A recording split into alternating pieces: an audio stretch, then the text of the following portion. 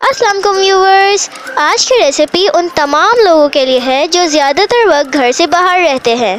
क्योंकि उन लोगों को प्यास की शिद्दत ज़्यादा महसूस होती है, इस वीडियो में हम इसी मसले का हल लेकर आए हैं। तो चलिए हमारे चैनल को सब्सक्राइब कर लीजिए ताकि हर नई रेसिपी टिप और रेमेडी से आप फ़ायदा उठा सकें। सबसे पहले इंग्रेडिएंट्स नोट कर लीजिए, फिर देखते हैं कि कौन सी चीज़ कितनी मिकदार में लेनी है। इस रेसिपी में आपको खजूर, बादाम, गोंद और दूध चाहिए। दो बादाम ले लें, आप चाहें तो उसको छील भी सकते हैं। दो खजूर चाहिए, उसमें से उसका बीज और ऊपर का हिस्सा निकाल दें। मार्केट में गोंद मुख्तलिफ़ साइज़ का मिलता है। अगर आपके पास बड़ा टुकड़ा है तो दो पीस ले लें। अगर छोटा है तो नौ से दस पीस लेकर उसको एक चौथाई गिलास पानी में पाँच से छः घंटे भिगोने रख दें, ताकि वो अच्छी तरह पानी में घुल जाए।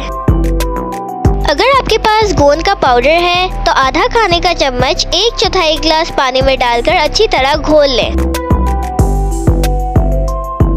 आखिर में एक गिलास दूध लें और तमाम इंग्रेडिएंट्स को एक ब्लेंडर में डालकर उसका मिल्क शेक बना लें। अगर आपके पास ब्लेंडर नहीं है तो आप हैंड ब्लेंडर भी इस्तेमाल कर सकते हैं। बताए गए इंग्रेडिएंट से एक गिलास मिल्क शेक तैयार होगा।